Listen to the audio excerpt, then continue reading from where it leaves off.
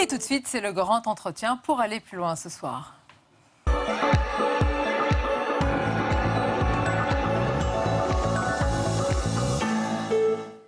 Avec un peu plus de recul ce soir, on va analyser ensemble les conséquences du vote hier, le paysage politique. Qu'est-ce qui peut vraiment changer avec cette présidentielle? Le regard critique du philosophe ce soir, Michel Onfray, bonsoir. Bonsoir. Bienvenue. Alors, vous n'avez pas été spectateur hier, Michel Onfray, de la soirée électorale, puisque vous l'avez vous-même commenté en quelque sorte, en direct et en public depuis le théâtre Antoine à Paris. Le tout était retransmis sur Facebook Live et votre site, michelonfray.com.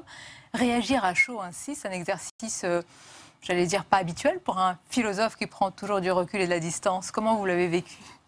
C'est inhabituel parce qu'on ne les invite pas et qu'on a toujours les mêmes qui s'en viennent commenter euh, les, chiffres nouveaux, même si pendant six mois ils ont dit tout et n'importe quoi, le contraire de tout, on les invite à nouveau et un peu comme avec la météo, il nous donne le temps qu'il a fait hier avec une extrême précision, mais rarement le temps qu'il va faire demain. Donc non, je pense qu'il y a dans la philosophie un travail sur la longue durée, il y a des registres et des vitesses qui sont différentes. Quand je travaille à Décadence, et que j'embrasse 2000 euh, ans d'histoire, évidemment, euh, on a besoin d'un temps long, d'un temps de silence et de méditation, de travail dans son bureau, bibliothèque, etc. Et puis après, on peut aussi penser l'actualité, on peut penser les choses un peu chaudes, justement en regard des longues durées. C'est-à-dire que ça me paraît extrêmement intéressant pour pouvoir voter pour quelqu'un, non pas de se soucier de son programme, parce que là c'est quand même la foire à la séduction, que de se soucier de son passé. C'est très intéressant le passé des gens. Et de son passif peut-être aussi. Le passé est souvent un passif, donc quand on a vu des gens qui ont trahi, tout dit, contraire de tout, qui se sont alliés avec des gens qui sont devenus leurs amis, puis leurs ennemis, puis etc., on voit à peu près à qui on a affaire. Quand le général de Gaulle arrive au pouvoir, il a derrière lui le 18 juin, ça aide un peu. Euh, d'autres ont, un passé qui est effectivement un, passif, souvent de traître. Et de... Donc c'est intéressant, ça permet de savoir. C'est pour ça que vous êtes abstenu alors au premier tour? Non, c'est pas la vraie raison. La vraie raison, c'est qu'il y en a plusieurs, il y en a au moins deux, deux grosses, je dirais. La première, c'est qu'en 2005, quand j'ai fait partie de ceux qui ont voté pour le référendum contre la formule libérale de l'Europe, et non pas contre l'Europe, euh, il y a eu un, un non massif. Et en 2008, on nous a dit, vous aurez exactement le même texte. Et Valéry Giscard d'Estaing qui dit dans Le Point que c'est le même texte. Quelques virgules qui ont changé, il a dit, ça. il avait, Vous avez absolument raison, il avait juste pour donner l'impression que c'était un autre texte. Vous pouvez dire que formellement c'était un autre texte. Et puis les députés et les sénateurs ont dit ce que le peuple a voulu, nous n'en voulons pas. Et nous décidons que de toute façon, ce référendum que vous avez euh, refusé, enfin du moins auquel vous avez répondu par non, nous, nous y répondons par oui, et vous y aurez droit. J'ai estimé que c'était un coup d'État à sa manière, parce que où la souveraineté existe, où on, recourt au référendum et puis on obéit au référendum, ou alors on dit je fais un référendum, je souhaite que ce soit oui, si c'est non, on le mettra à la poubelle, si c'est oui, on le garde. je me suis dit à partir de ce moment-là, le devoir du citoyen, non pas l'électeur, mais le devoir du citoyen qui est l'homme politique, qui est censé nous représenter, c'est de respecter les, les, décisions qui sont prises. Donc ça, c'est la première raison qui fait que, dans la mesure où il y a une rupture de contrat social, euh, je, n'y suis pas. Restons sur cette première raison. et puis, restons sur cette première raison. Vous me développerez en quelques instants la deuxième. Quand vous dites, et on comprend, euh, les cicatrices et les Français euh, les portent encore sur ce, référendum et cette parole non respectée. Mais aujourd'hui, vous avez eu hier des candidats qui étaient pour, par exemple, la sortie de, l'euro. C'est factice, selon vous Je vais vous donner la, deuxième raison. Ah. Parce que la, la deuxième raison, c'est que en fait, tout a été fait pour que le goulot d'étranglement arrive à ce qui s'est passé là. C'est-à-dire qu'au bout du compte, on nous a dit il y a des grands candidats et des petits candidats. Pourquoi les grands sont-ils grands? Et pourquoi les petits sont-ils petits? C'est étonnant. Regardez, les petits candidats, ce sont tous des gens qui sont contre la formule libérale de l'Europe. Drôle, hein? Et tous ceux qui sont des grands candidats sont tous des gens qui sont pour la formule de l'Europe. Vous voulez dire qu'on a appelé petits candidats ceux qui sont contre le système euh, Non, c'est que... Dans lequel euh, vous nous mettez les médias ah, je ne vais pas parler de médias, pas ah encore. Non, mais je suppose parce que... non, non, mais je dis que quand vous avez les, fameux grands, grands, candidats, vous en avez deux qu'on présente comme des sceptiques, Marine Le Pen et euh, Jean-Luc Mélenchon. Vous êtes une observatrice avisée, vous aurez bien vu que dans les derniers temps, ces deux-là nous disaient qu'on allait voir, qu'on allait négocier, Mélenchon dit Moi, je vais voir Merkel, quand elle va me voir, elle va se calmer, on va refaire un traité, là, ça va être autre chose, et vous allez voir, dans le genre, on garde, mais on ne garde pas tout en gardant. Sous-entendu, on ne touche pas à l'euro, on ne touche pas à l'Europe. C'est bon, il pouvait faire partie des grands. Marine Le Pen qui décide de tout, des boutons de guêtre, dit Il y aura ceci, ce sera cela, etc. Sur la question de l'Europe, c'est la même chose. On négociera, après la négociation, on fera un référendum, on verra ce que donnera ce référendum, etc. Bon, ces deux-là avaient gagné le droit de faire partie des grands parce qu'ils avaient montré des gages aux gens qui estiment que la politique, la vraie, la seule, la sérieuse, c'est de rendre possible. Alors, si je suis votre raisonnement, un candidat qualifié entre guillemets de petit, mais qu'on aurait dû euh, qualifier selon vous de grand parce qu'il incarne une véritable rupture par rapport à l'euro et à l'Europe, ce serait François Asselineau. Non, je dis pas ça. Je dis bah, que. C'est ce qu'il dit lui. alors c'est plus subtil les médias, vous savez bien. C'est-à-dire qu'ils n'ont pas des gros sabots. C'est quand même beaucoup plus subtil que ça. Donc on fabrique la petitesse du petit candidat. On, évite une grande visibilité. si vous évitez la visibilité, ils ne sont pas bankable, nos, petits candidats, et ils restent petits. Éventuellement, on se, on se débrouille pour que des petits candidats obtiennent 500 signatures. C'est sidérant, ça. Que des gens comme Marine Le Pen, un temps, ne parvenaient pas, ou Jean-Luc Mélenchon nous disait J'ai du mal avec leur surface politique, ils avaient du mal à trouver 500 euh, signatures. C'est drôle. Asselineau, qui fait zéro euh, et quelques, enfin quasiment en dessous de zéro, euh, il a ses 500 signatures. Il n'y a aucun problème. Cheminade, il a aussi ses 500 signatures. Drôle quand même que ces gens-là aient leur signature. Parce qu'effectivement... Drôle ou alors vivifiant pour la démocratie Non, c'est ironique. Vous voyez bien, on choisit des comiques, on choisit des guignols. Jean Lassalle, c'est formidable. Quand on a un candidat comme ça, il n'y a pas de problème. Il est drôle, c'est fantastique, c'est la ruralité, il a un accent, euh, la, Vierge lui apparaît régulièrement, c'est formidable, c'est sympathique, et moi j'aime beaucoup. Vous avez Poutou qui fait son cinéma, vous avez Artaud, tout ça est bien. Est-ce que votre sympathique n'est pas un peu condescendant C'est ce que vous nous reprochez? Quand vous dites sympathique, on a l'impression qu'ils sont là pour amuser la galerie. Non, mais bien sûr qu'on les a choisis pour ça. Mais bien sûr que les petits... Choisis? Oui, on les choisit pour qu'effectivement, ben, on leur facilite les choses, on s'arrange. Moi, j'ai rencontré euh, euh, Monsieur euh, Lassalle, que j'aime beaucoup. Il m'avait invité, on s'est rencontrés, on a déjeuné à l'Assemblée nationale, et il m'expliquait qui le finançait et comment. Et c'est assez intéressant de voir qu'on se dit ah bon, vous êtes financé par ce monsieur qui normalement n'a aucun intérêt vous financer. Pourquoi vous êtes financé par lui? Et on se voit effectivement, on voit effectivement que des gens ont intérêt de dire pour la diversité, on a des individus qui sont là et qui vont montrer que vous avez bien vu que c'est la démocratie. Et tout le monde peut être candidat, puisqu'on a même ceux-là. Il y en a un qui va aller sur la Lune, il y en a un autre qui chante euh, en basque, il y en a un autre qui... Alors c'est quand même grand, la démocratie. Oui, et pendant ce temps-là, ceux-là, euh, ils permettent euh, finalement d'amuser la galerie pendant que les sérieux, vous avez vu, le premier débat télévisé, on a dit, bon, les comiques, on les laisse, on ne peut pas avoir 11 personnes, hein, on va prendre les sérieux. Et avec les sérieux, on avait déjà commencé un tri sélectif. Mais dans ce théâtre-là, parlant des, entre guillemets, sérieux, vous le dites avec ironie, vous avez vraiment l'impression que sur l'Europe, rien ne changerait, qu'on donne l'impression, parce que là, on présente quand même deux candidats que tout oppose, deux visions du monde, deux visions de la France. Oui. Avec un Emmanuel candidat, Macron et Marine Le Pen. Oui, un candidat qui va être élu et un candidat qui ne va pas être élu, c'est fait pour. C'est une élection à un tour l'élection présidentielle. Et le président a été élu hier. Euh, la preuve, il a déjà fait la fête. Hein, oui, c'est pas parce qu'il a fait la fête que les Français. Euh, voilà. Je vois mal comment euh, un candidat qui, qui a tout le monde pour lui, Macron, il a l'Union rationaliste des athées, en même temps le pape, il a le MEDEF, mais en même temps il a la CGT, il a la droite, puis il a la gauche, il a Juppé, mais il a aussi qui l'on voudra, enfin, il a tout le monde. Mais donc ça veut dire qu'il est habile ou qu'il est fabriqué? Non, il est fabriqué. Bien sûr qu'il est fabriqué. Jean-Pierre Chevènement est un ami, il m'avait dit il y a quelque temps, je peux le dire parce qu'il l'a redit dans la presse, donc, euh, que euh, Benoît Hamon avait été choisi pour perdre. C'est intéressant cette idée choisie pour perdre. Les gens ont oublié qu'il y a eu un bourrage dur au Parti Socialiste, ça n'a posé aucun problème. C'était plus important les, vestons de, de, Fillon. Alors oui, oui, allons-y pour les vestons de Fillon. Mais un bourrage d'urne, pourquoi fait-on un bourrage d'urne au Parti Socialiste? C'est quand même étonnant ça. Non, non, il y a eu un bourrage d'urne, on a expliqué en 24 heures qu'on avait mal compté, qu'il a fallu recompter, etc. Mon œil, quand on bourre les urnes, c'est parce qu'on veut pousser un candidat. Pourquoi est-ce qu'on pousse un candidat en, en faisant de telle sorte qu'il puisse descendre tellement bas que ça ouvre la route à Macron, dont on découvre Aujourd'hui. nous écoute un peu ce soir et se disent oh là là, Michel Onfray, il est un peu complotiste. je, vous donne des faits. Je, vous donne des faits. Je vous dis aujourd'hui, François Hollande nous a dit qu'il fallait voter Macron. Il l'a dit il y a trois mois déjà, ou deux mois, parce que pour les gens qui suivent un peu Vous n'êtes pas tombé de votre chaise Non, non, non, mais pas du tout. Mais, euh, il est allé au Liban. Euh, notre ami euh, euh, Macron. Quand vous allez au Liban et que vous êtes reçu par l'ambassadeur, ça veut dire que le Quai d'Orsay a donné son autorisation, donc le chef de l'État donne son accord. Hum. Marine Le Pen est allée aussi, reçue par le président. Ah, pas par les mêmes. C'est pas exactement la même chose. Je vous dis voilà. Ah oui, non, mais le président du Liban, il est souverain et autonome, il reçoit qui il veut. En revanche, quand vous êtes reçu par l'ambassadeur du Liban, vous êtes reçu par la France. C'est le candidat du système, le candidat de la République, le candidat du président Oui, oui, c'est ça, c'était le candidat du président, donc tout a été fait pour qu'il soit élu, et il va être élu. Mais au-delà peut-être des candidats, et c'est ce que vous pointez souvent, Michel Onfray, c'est peut-être ce qui est le plus inquiétant, au-delà du nom d'un tel ou d'une telle, c'est que selon vous, on a renoncé à notre souveraineté. C'est-à-dire que vous dites directement qu'on prend nos ordres à Bruxelles. Ça veut dire quoi? Que, demain, le 8 mai, euh, on va passer un coup de fil à, à qui? À Madame Merkel? Ah, c'est pas nous qui allons passer des coups de fil, on va nous passer des coups de fil. Comme on sonne un domestique, en disant Monsieur le Président, d'ailleurs vous avez vu, hein, aujourd'hui c'est extraordinaire la bourse, c'est formidable. Tous les marchés sont rassurés. Moi j'ai lu la presse ce matin, en Allemagne on souffle, aux États-Unis euh, on voit que les marchés sont très heureux et très, contents, on a bien voté, euh, les marchés sont, sont, tranquilles, sont heureux, sont contents. Ben voilà, tout est fait pour ça. Donc euh, oui, effectivement, le chef de l'État qui nous donne l'impression qu'il va choisir, euh, ne choisira rien parce que le jour où il sera élu, on lui fera savoir ce qu'il faut faire parce qu'il y a une feuille de route. et la, feuille de route, elle est à Bruxelles. Qu'est-ce que vous proposez? Est-ce qu'il faut faire exploser quoi? Les règles du jeu euh, C'est un État. Je propose ça, moi. Je, propose. Maastrichtien, c'est ça? Maastrichtien, oui. il faut le casser.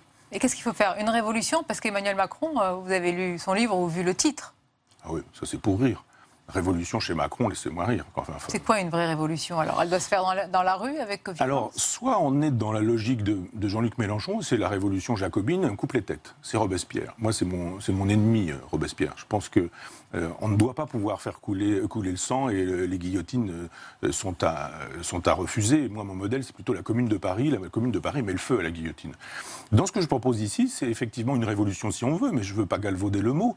Je dis juste qu'on doit, sans, sans faire couler le sang, évidemment, sans couper des têtes, même symboliquement, même réellement, dire réorganisons les choses autrement. C'est-à-dire que euh, on a le vieux schéma, la cité de Dieu, la cité des hommes, chez Saint-Augustin, on nous dit dans le ciel, il y a un Dieu, donc sur Terre, il faut qu'il y ait son équivalent, et c'est la monarchie pendant des siècles. La Révolution française dit on arrête avec la monarchie. Il y a deux courants dans la Révolution française. Un premier qui est jacobin et qui nous dit on arrête sans arrêter tout en arrêtant. C'est-à-dire que Robespierre restaure le culte de l'être suprême, le temple de la raison, en disant il faut de la mystique pour faire de la politique. La mystique, c'est moi, en gros, c'est moi le chef. J'ai avec moi le clergé. Et puis, donc ça veut dire qu'on a une descente comme ça, ça, sort du, ça descend du haut comme ça, et c'est ce qu'on appelle la hiérarchie. Étymologiquement, le pouvoir du sacré. Et ça, ça descend jusqu'au sujet, jusqu'au manant. Et les manants, ils obéissent. On leur dit, il faut faire ça, pas faire ça sur le marché. Vous n'avez pas le droit d'exposer un lapin parce que les directives de Bruxelles vous expliquent que si vous n'avez pas une chambre froide qui a été achetée euh, à tel endroit avec les normes ceci, etc., vous ne pouvez pas. Donc voilà. c'est le système que vous voulez écarter en à l'inverse, de... je dis, on part de la base. Et cette révolution que je propose, si vous voulez vraiment qu'on utilise le mot, mais moi je ne l'utilise pas. Non, c'est la pensée provinciale. Ça s'appelle. Oui, si vous voulez. Si on peut la résumer oui, parce que pour moi, provincial, c'est euh, bah, vous y êtes né, vous y êtes toujours. Euh, et vous... C'est formidable, les provinces. Et la province. Je n'ai pas dit le contraire. Non, non, contraire, je n'ai pas dit que vous l'aviez dit. Je dis juste que quand, on, est, quand on, veut, on veut faire de la politique à partir de la base, on dit il y a des intelligences collectives. Il y a des gens qui savent, des paysans, des agriculteurs, des instituteurs, des médecins, des gens de terrain, des gens qui sont là, qui savent comment ça marche, une vigne, comment ça marche, un village, comment ça fonctionne, etc. etc. Donnons, redonnons le pouvoir aux communes avec des gens qui sont susceptibles de faire de telle sorte que le citoyen fasse le pouvoir. C'est le principe de l'autogestion. Et puis après, ça grimpe. C'est-à-dire ça ne descend pas du ciel, ça grimpe jusqu'à un État, on ne va pas rentrer dans le détail, mais on peut constituer un État qui soit libertaire parce qu'il serait la garantie des libertés, plutôt que l'État théocratique qui décide qu'il est autoritaire et euh, le chef décidera pour tout le monde. Nous attendons des solutions d'un homme providentiel. C'est pourquoi d'ailleurs ils nous séduisent. Avec moi, il n'y aura, y aura plus de neige en hiver. Vous préférez la fameuse décence ordinaire euh, oui, d'Orwell Oui, mais J'aime les gens qui sont, qui sont au contact je vais vous dire du, très du vérité, je reçois de nombreux invités, vous le dites vous avec talent, euh, cette forme de d'État finalement nouveau que vous voulez, mais d'autres l'ont dit et n'y arrivent pas. Pourquoi est-ce qu'on n'arrive pas justement Quelles autres? Bah, D'autres personnalités qui ont vu venus de la société civile, qui ont voulu incarner cela, cet État-là, qui serait moins centralisé, etc. Et oh, si vous voulez que je cite des noms, il y a Alexandre Jardin, il y en a d'autres. Oh. Pourquoi est-ce qu'on y a... Bah, écoutez, sérieux? Mais pourquoi votre, votre euh, j'allais dire, Jardin, il a, votre idée, votre inspiration marcherait plus que celle des autres, je, basée sur la même idée Je ne dis pas ça. Je dis qu'Alexandre Jardin, il avait une excellente idée. Il a dit à un moment donné, il va falloir qu'une espèce de consultation citoyenne permette de faire monter, de faire émerger un nom. J'ai trouvé ça extrêmement intéressant. Quelle est la méthode Onfray Et comment ça s'est passé avec Jardin? Un jour, il a dit, au fait, le nom qui émerge, c'est le mien et c'est moi qui serai le candidat de cette société. Et d'un seul coup, les gens ils ont découvert à la radio, à la télévision, qu'Alexandre Jardin s'était autoproclamé candidat de la société civile. Il n'a pas obtenu ses signatures, c'était pitoyable. Cette idée était bonne. Euh, il D'ailleurs, quelques-unes de ces idées sont bonnes. Gardons l'idée pour, vous dites, un État jacobin, Quelques-unes de ces idées sont bonnes parce que, sont bonnes parce que c'est les miennes, ce sont les miennes, hein, et qu'il connaît mon travail et qu'il il, s'en sert assez régulièrement.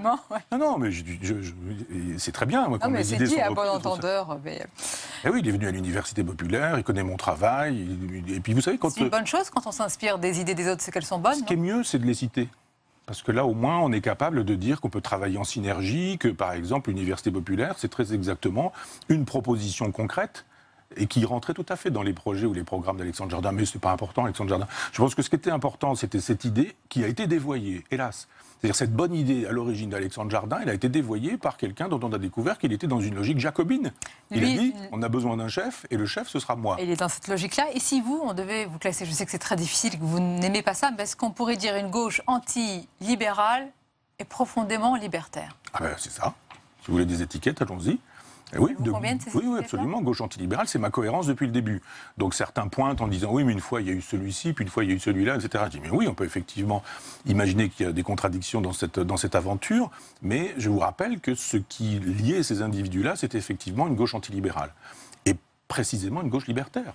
Et, je dis qui est le personnage qui m'inspire, c'est Proudhon. Et c'est un socialisme libertaire, justement, qui, qui démarre des, des communes, des communautés, de l'autogestion, du talent des gens. Mais quand vous dénoncez, critiquer l'Europe, vous savez ce qu'on va vous dire. On va vous accuser de tous les mots. MOTS, MAUX, de tout. Oui, oui. Bon, ça, j'ai un peu l'habitude. Le problème, c'est pas ce qu'on dit de moi ou ce qu'on pense de moi, c'est que des gens puissent entendre un discours alternatif et que les gens puissent se faire directement un avis. C'était pour arriver à cela que je, voulais, que je vous disais ça. On ne veut pas entendre un discours alternatif sur l'Europe aujourd'hui Parce qu'on a eu quand même l'impression, nous, pendant ce débat, qu'il y a eu quand même pas mal de candidats souverainistes qui voulaient la, sortie de l'euro, qui voulaient faire la peau à l'Europe. Oui, mais lesquels? Des, gens qu'on a. Euh... Je vais pas citer de nouveau François Asselineau, on va croire que je le soutiens bon, maintenant ben avec son score. Voilà, voilà. Mais pourtant, ces, idées ne sont pas audibles. C'est la question de. Il a, fait, il a beaucoup cité de textes et d'articles. Oui, mais il n'avait pas tort. Ça, a simplement fait. Euh, ça, a généré des, des colibés le lendemain. On s'est moqué de lui en disant ah là là, il y avait des comités. Alors que lui montrait qu'il fallait tenir, tenir compte de ces règles du jeu pour les contourner. Absolument. Il disait mais en fonction de cet article, vous ne pourrez pas faire ce que vous annoncez. On ne peut pas entendre ce propos-là, qui est un propos juste et un propos vrai. Euh, simplement, si vous restez dans cette règle du jeu, vous ne pourrez pas. Et, c'est dit, ça n'est pas entendu, ça n'est pas compris, et on dilue tout ça parce qu'on dit, bon, euh, c'est aussi un personnage qui fait partie de ceux qui estiment qu'on doit pouvoir aller sur la Lune, et donc on se dit, bah, évidemment, si, c'est l'idée de quelqu'un qui pense qu'il faut se dépêcher pour partir sur la Lune, bah voilà, quoi, c'est l'idée de quelqu'un de lunaire pour rester... Euh, le divorce euh, Paris-Provence est une rupture permanente. Comment la soigner aujourd'hui? Est-ce qu'il faut mettre plus de, justice, tout simplement, de bon sens? Euh, les, Girondins disaient très précisément, il y avait 83 départements à l'époque, hein, les Girondins disaient Paris doit peser 1 83e de la représentation nationale. Ben voilà, ça me paraît normal que Paris ne pèse pas 95% pendant Combien que pèse Paris aujourd'hui? Non, je dis 95, une majorité on dira. Et, et que tout se passe là. Moi, j'habite en Normandie. Si on doit prendre un, train, si on, quand il y en a, si on doit prendre un avion, si on doit, etc. Enfin, tout passe par Paris. Si on veut euh, voir son éditeur, si on veut venir s'exprimer euh, sur les, sur les chaînes euh, nationales, ben, effectivement, il n'y a pas de décentralisation. Il faut passer par Paris. Tout est à Paris. Et, effectivement, c'est une vraie révolution euh, d'imaginer qu'on pourrait redonner aux provinces des pouvoirs, et notamment de, redonner du pouvoir. Ce serait donc celle-là, selon vous, la vraie révolution Je reviens à l'autre révolution que vous avez critiquée tout à l'heure, parce que, encore une question en tête, malgré tout, Michel Onfray, il n'était pas connu il y a quelques mois, quelques années en tous les cas. Emmanuel Macron, sans parti, sans soutien, il en a eu beaucoup après, et vous les connaissez, on peut, on peut les citer. Est-ce que ce n'est pas quand même un changement en douceur, même si le mot révolution est galvaudé, malgré tout. On découvrira un, jour que la Bible de ces gens-là, c'est Orwell. C'est-à-dire que vous avez des cabinets de consultation qui ont fabriqué un programme qui n'est pas un programme. Voilà un homme qui nous dit il n'y a pas besoin d'avoir un programme. Et les Français l'auraient avalé tout cru ben, comme évidemment puisque c'est tous les jours, c'est tous les jours qu'on vous fait savoir que finalement il y a les mauvais d'un côté, il y a les bons de l'autre, que euh, les mauvais sont parfois ridicules, parfois etc. Les comiques euh, s'en donnent à cœur joie, et puis à un moment donné où vous finissez par dire bah, finalement il reste plus que celui-là. Regardez à quoi ça ressemble aujourd'hui toute la palinodie de gens qui disent ah non on va pas voter pour Macron, on va voter contre Marine Le Pen. Ben, en, gros ils sont bien obligés de voter pour celui qui, a été euh, choisi par par ces cabinets de consultation où on se dit voilà il y a des segments, il va falloir draguer ceux-là. Alors là, un jour, on dit il n'y a, pas de culture a pas de culture française. Une autre fois, on va en Algérie et on va parler du génocide. Une autre fois, on va flatter la croupe du cheval de, de Jeanne d'Arc. La contradiction des responsables politiques, c'est pas nouveau. Non, non, mais à chaque fois, vous avez emmagasiné euh, un secteur, un segment de la société. Et quand vous avez dit du bien de Jeanne d'Arc, quand vous avez dit du bien du général de Gaulle, quand vous avez dit du bien de François Mitterrand, quand vous avez dit du bien euh, du FLN, par exemple, en Algérie, quand vous avez dit qu'il n'y avait pas de culture française et que vous avez séduit tous les incultes, ça fait du monde, eh bien, il y a un moment donné où chacun n'entend que ce qui lui a été dit personnellement. Il dit, mais ça, ça me va, et ce personnage, on va laisser de côté le reste, finalement, je vais voter pour lui. Voilà pourquoi on a des gens comme Robert Hue qui soutiennent cet individu, qui est aussi soutenu par... Il ne sera pas au gouvernement, oui. Oui, bah, oui, non, mais on cite souvent l'arc de Robert bah, à Alain Madelin. Eh ben oui, alors comment Ou à Madelin. Donc c'est quand même, c'est quand même un, un, coup de force de réussir un programme de com. C'est ce qui fait qu'un jour, comme, par hasard, vous allez acheter cet instrument, ce téléphone, cette voiture, je ne sais quoi. Un jour, tout est fait dans la logique publicitaire pour que le jour où vous ayez besoin d'une lessive, vous achetiez la lessive Macron. En tous les cas, votre révolution à vous, euh, elle s'appelle euh, La province, les provinces. On la retrouve dans ce livre, Décoloniser les provinces. Michel Onfray, merci d'avoir été notre invité. Moi qui vous remercie. Merci Je à retourne dans ma province. On arrive à la fin de cette émission, mais d'abord, ce sont les moments